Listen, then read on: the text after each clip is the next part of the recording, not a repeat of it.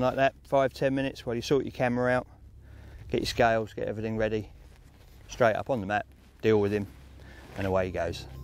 Just gives you a little bit of breathing space.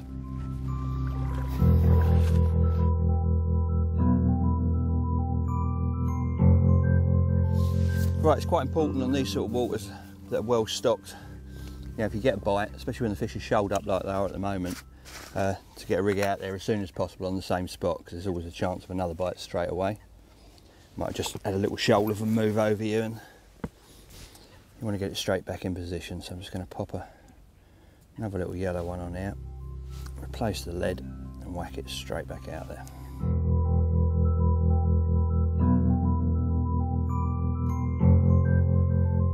Right, for anyone that's spent a fair amount of time sitting on a bed chair like this looking out, they know how painful your back can get. Just sat hunched over all the time. But at the moment I'm as comfy as, because I've got my little bed mate. Just sits on top of the bed, adjustable like a deck chair, three positions, and just supports your back. And most importantly, stops you sinking down into the bed chair and supports your lower section of your back. So you can sit there all day totally comfortable staring out at the lake. Lovely.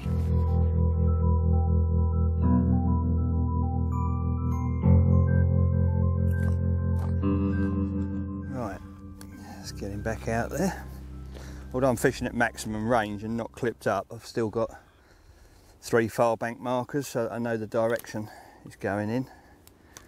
This is toward that, towards that big stand of trees in the distance there. It's always important to pick a high, high bank marker for a back marker because when it gets dark, obviously anything on the bank that's got trees behind it, you're not going to see. So I always go for treetops and pylons and anything on the skyline.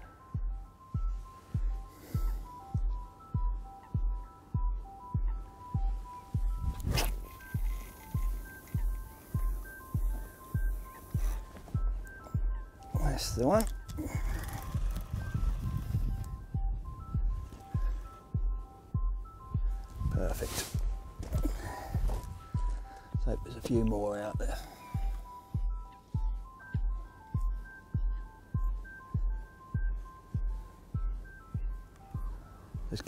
Lines sunk down here because quite a crosswinds now picked up. I don't want it to bow out and then sink down behind weed or bars. So keep a direct line on him.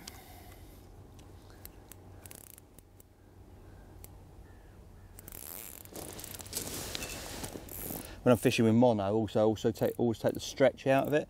If you fish with too tight a line, uh, you don't get a very good indication. So although the bobbins are right at the top, there's actually no stretch left in the line. Just peel it off until I can feel that it's it's not slack, but it's not taut.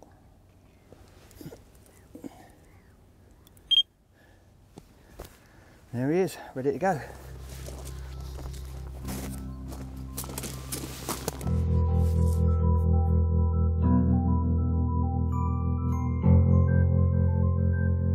Right then, Dave. Uh, it's not something that I'm used to seeing you with, but obviously you're using a pod today. What's that all about? Yeah. Um, no, it's not something I use a, an awful lot, but it's something that I always keep in the motor. Um, I mean, it, the whole thing, although it looks like quite a big unit there, all packs down into this little bag, which I keep behind the seat in the car. Right. Um, and it's handy if you turn up and you've got to swim like this. You know, you, especially if you're going to a lake you don't know. Mm. Um, I've come up and stuck in the past. past I went to um, a lake in France uh, and the swim that I'd chosen, there was just no way you were going to get a bank stick Oh, in. no. Didn't have a pod with me. It was it was a nightmare. You know, Oh, you end up with a bank stick at this angle and one at this angle, and the whole setup's wobbly and terrible. So it's perfect for that, and it's, it's better than hammering. I can't stand people that hammer bank sticks. Yeah, in, nothing you know. worse. You know, you set up the fish might be 20 yards out. By the time you got your three bank sticks in, they're 120 yards out. So a pod comes in perfectly handy for that. And this one, light speed pod, it's completely adjustable. It adjusts in length, in height, front and back.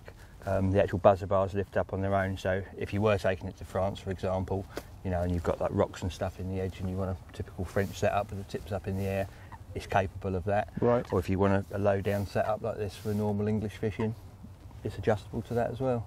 Looks the part as well. Everything's Yeah. just spaced nicely. Yeah. The rods look nice and neat on it, which it shouldn't matter, but it's very important these days, isn't it? It is, yeah. Um, yeah, we've got everything to look, look nice, and it's very, very solid. You know, it's, the way it's all braced. Once it's up, Mm. it's completely rock solid. It's nice the- and low as well. I like that. A lot of pods is, you see yeah. are just a bit too high, and you Yeah. just think, well, Well, that lower sort of centre of gravity obviously makes it more more stable. I mean, the Mm. pods of old, if you've got a bite on your left hand or right hand rod, quite often they were going over, Yes. weren't they? The whole Seen thing would tip yeah. over. But this is, you know, I mean, once they're braced against each other, it's absolutely rock solid. So excellent. it's a very handy thing. You know, if you don't use a pod all the time to keep in the motor, and if you do use a pod all the time, you know, this is And maybe that's the one for you. model. Yeah. sure.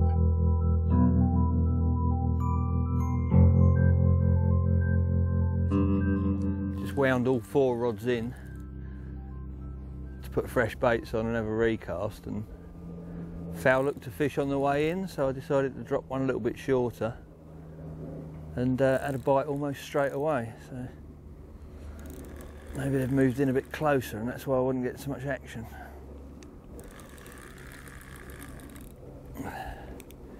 This one was only in there a couple of minutes and he was away.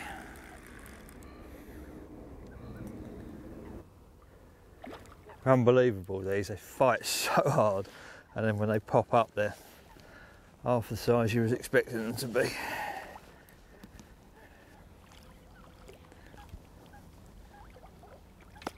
There he is.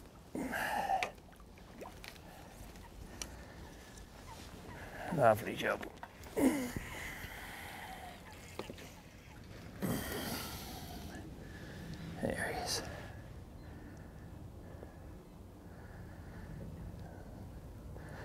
Nice little mirror.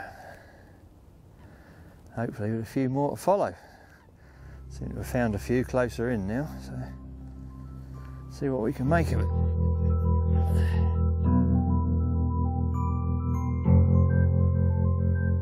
Right, Dave. There's lots of bivvies out there that claim to be quick erect, Yeah. but I think you've got something here that takes that to the next level. Am I yeah. right? Oh yeah, this is ultra fast.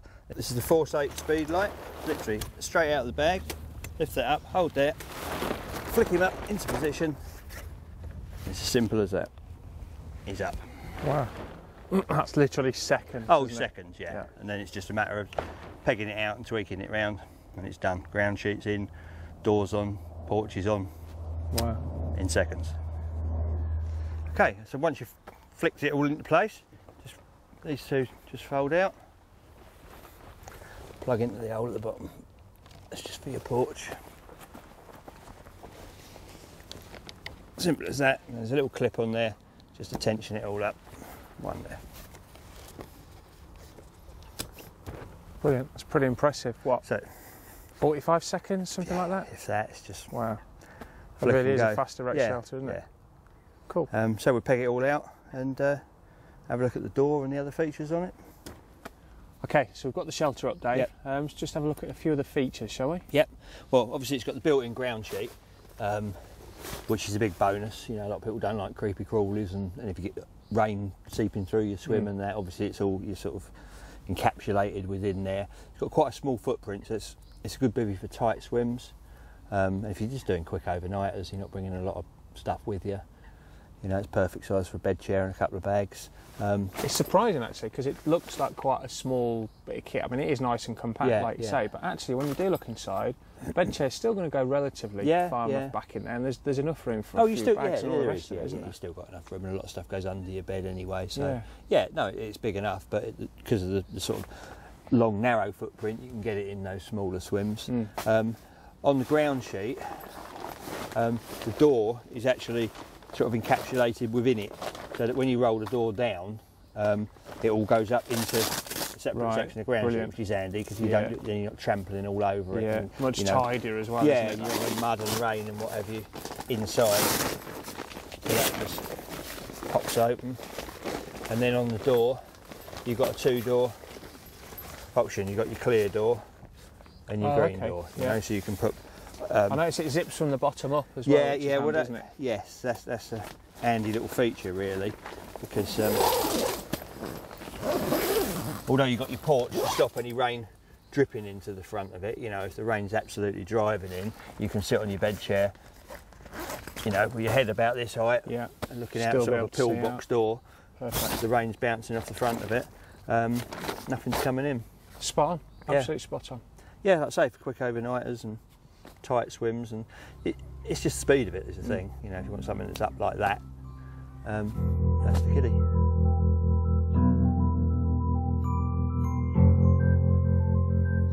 Okay, put together a little bit of spod mix. I don't go mad with my spod mix. Cell boilies, break up a few of these. I like to put a bit of feed out in my mix rather than just sort of ground baits and stuff. A few whole ones in there as well. I'll break up some more in a minute. Some response pellet. This breaks down fairly quickly, gives off a nice oily, slick and a lot of flavour.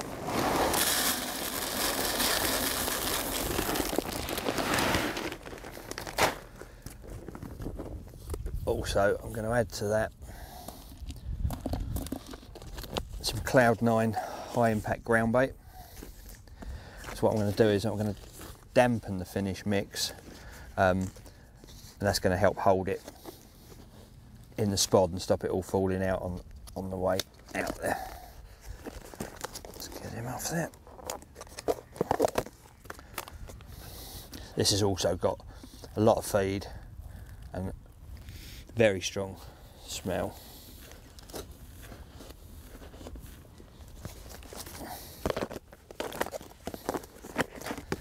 And last but not least, some crushed hemp bag and stick mix.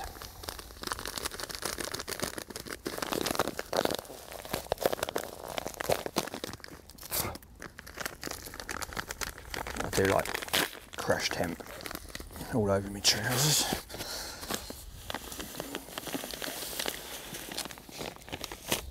all I can do then is just mix all that up together.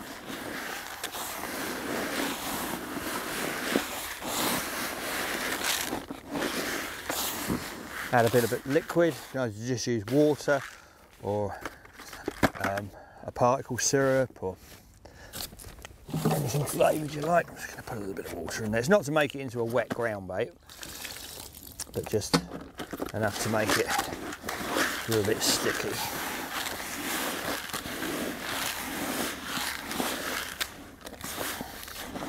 You can see that's still quite dry, but it's not dry enough to fly out of the spod on a cast. And there you go, simple as that. Okay, and you can see here when I load the spod, never load them right up to the end here, always like two thirds fillet, because what happens obviously to fly properly you need the weight at the front so if you load them right to the back you're getting as much weight at the back as you are at the front and then it starts to wobble. The back tries to overtake the front in flight. But if you always leave a gap at the top that'll ensure that all the weight's at the front will end. I'm just going to drop one in the margins here so you can see it coming out and see what it's going to look like on that clear gravel out behind the marker. Over that nice light gravel. So when this goes in, it's going to go in obviously with more force than that, turn up, and you can see all of that trickling down. It's leaving that nice big cloud in the water there. Obviously any fish passing through those mid layers are going to follow that down. But you can see now that each spodful doesn't deliver a lot of feed, just the odd little bit of broken boilie, a few pellets, but there's a lot of attraction coming off of that. And that'll bring the fish in, get them grubbing around for more. Nice bright bait right in the middle of that. It's almost unfair to cast out.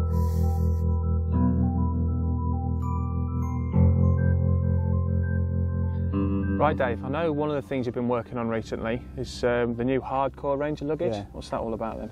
Um, well, basically, it's a sort of a more upmarket, more robust range of gear. Um, sort of one of each product, but um, sort of up spec. You know, stronger zips, better material. Um, yeah, it's quite frustrating. You spend a lot of money on a decent rod bag, and, and zip's gone three months later, and you know you've got bungee clips around it. So- Absolutely. So, I've sort of put a bit more time and effort into sourcing the right materials and just putting, you know, up spec in it really. The problem is, on a rod holder in particular, if your main zip goes, that product is now completely useless. Yeah, absolutely. You can't bodge that. You can't get by. No, no, no. So I say these have got a lot stronger, sort of heavy duty zips on, and it's and it's more than just a rod bag really. It's you know what I'm like when I fish. I'm quite mobile. I like to turn up at a lake as well, and I like to be fishing straight away. So with that in mind, this contains everything you need to be up and running. Um, yeah, obviously, being a rod bag, you've got your rods in there, all set up ready, um, and they're individually padded um, so that they're not clattering together. Yep. You know, you're not going to lose a, a ring lining or anything. You know, everything's there, well protected. Areas for spare rods, uh, marker rods, what have you. So you can get three in with reels. You get three in with reels and then three in without. Um, Which you won't necessarily need six, but three and two, you know. yeah, but you, just don't know, do other, you? you there's always bits and pieces you can put in. And if you don't, you don't have to. Absolutely. You know. Yeah, you don't you have don't have to to put stuff in there you? because it's No. there, but it's there if, if you need it. Um, and on the outside, the top here, we've got a pouch, and this will take like your bank sticks. Um, you know, if you use buzzer bars, your buzzer bars will slide straight in there, so you're not rummaging around in Yeah. anything else. It's not like inside your barrow stuff. You haven't got to unload your barrow to get to anything. Um, that all goes in there. You've got a bigger pouch here, which you can put slings, landing nets, you know, sort of- sort of the floating retainer sling and a landing net in there, or a sack, or you know, whatever you want. Then, should you gather fish straight away, you're sort of ready to go. We've even put this little pouch on the side. This is a handy little idea. Pop your leads in, Yeah, spare brilliant. leads, because that's Brilliant. always the one, isn't it? Yeah, you you know, when you, you pack up, you take your leads off so you don't damage your rods. You don't think about that. You get there, you put everything up, you think, oh no, the leads are right in the Uh, bottom. I've, a number of times I've had leads just rattling around Yeah. in the car because you get in the car at the end of a session. That's it. you've got a Oh, always in your pocket. What do you do with them? Yeah. And also, That's you can nice. chuck a baiting needle with maybe three pop-ups already on Yeah. it in there, and a little strip of hair stops or something. You know, anything, just the little bits you need. So you literally really. can just get fishing You, straight you can just take this straight off Yeah. the top of the barra and be fishing. Because you're not always going to end up where you start. You know, you might just want to get angling, and then after a few minutes, you think, oh, actually, no, I want to be over there. You don't have to repack the barra. So everything you need for, to, to get yourself going, it's all inside there. Brilliant.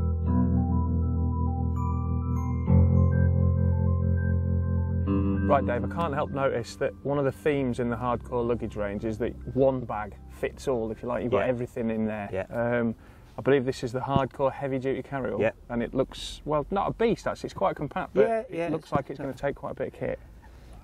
the idea of this for me is that I can get all of my other stuff in it, my fishing stuff, my spare clothes, anything else. You know, I'll take this, the food bag, a bait bag, and the rod bag. Pretty much covers everything. Um, the inside compartment is quite huge. You know, you can get anything you need in there. Um, it's It's all deceptive actually, because from the outside it looks Yeah. like just the right size, but then you obviously you come inside Yeah. and it, it's, it's a big old Oh yeah, I mean I can get all my tackle bags in there. You know, uh, binoculars, even this, which is uh, one of the Thermotex jackets. You know, that packs down. Oh, okay, You know, yeah. that, that comes out, and that's a full protection system jacket. Um, but it also comes with loads of pockets, ev- pockets everywhere. So you know, if you're a tidier person than I am, and you want everything in the right place, then there's compartments. You know, once once you've got a home for everything, there's plenty of room to slide it all in. Uh, there's even big pockets on the top here, you know, for iPads, phones, stuff like that. You want to be protected because obviously you've got this hard top. So you know anything like electrical stuff, put it under there and it's Yeah. protected from the, the, the hard top.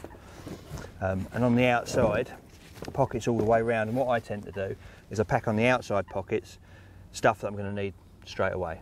You know, rather than having to delve through because I'm, I'm not the tidiest of anglers. Everything Right. gets thrown in there. But Yeah. say, for example, I know that it always in this pocket. There'd be my sort of normal tackle stuff that I might need hmm. straight away.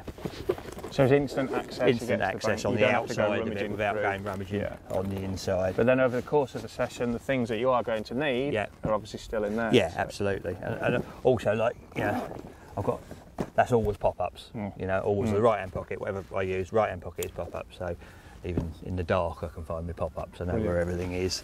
Um, and like I say, it's just a big, spacious, very strong, very well-made bag that's got room for everything. Basically, you know, I don't think I'd ever take anything. The amount of stuff fishing that wouldn't fit in there. Right.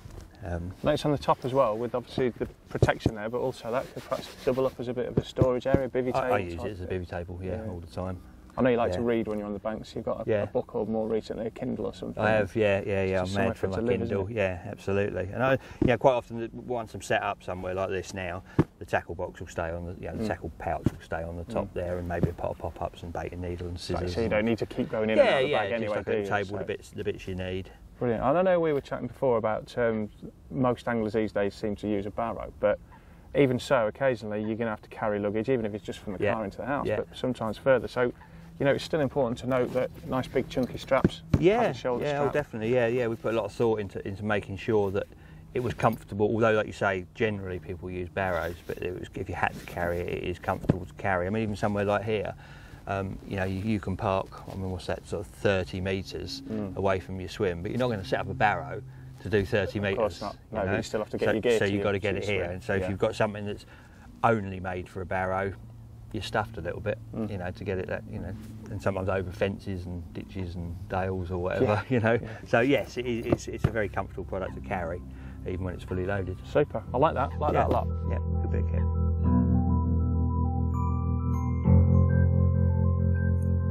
That recast of all the rods seems to have done the trick anyway.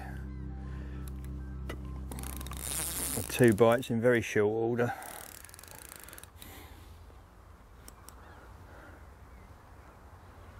Sometimes just a three fresh baits and slightly different spots can be all it takes. It feels like a mid 20 and then you get them in the net and they're mid doubles. That's not a bad thing, it's, it's all good sport.